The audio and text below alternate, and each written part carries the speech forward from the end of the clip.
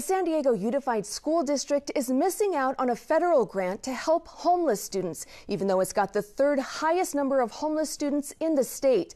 iNewsSource reporter Megan Wood explains why. San Diego Unified lost its chance for $750,000 in federal funding to help homeless students because a finance official failed to sign its grant application.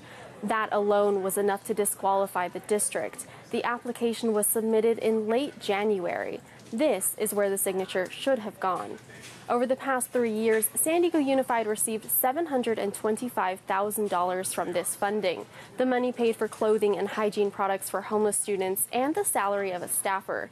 District officials say they are disappointed the application was rejected, but they found a way to make up for the lost money. Other districts in the county will be getting the federal homeless funding, including San Ysidro, Escondido Union, and Poway Unified. Amounts will vary and are expected to be announced in July. For KPBS, I'm iNewsSource reporter Megan Wood. iNewsSource is an independently funded nonprofit partner of KPBS.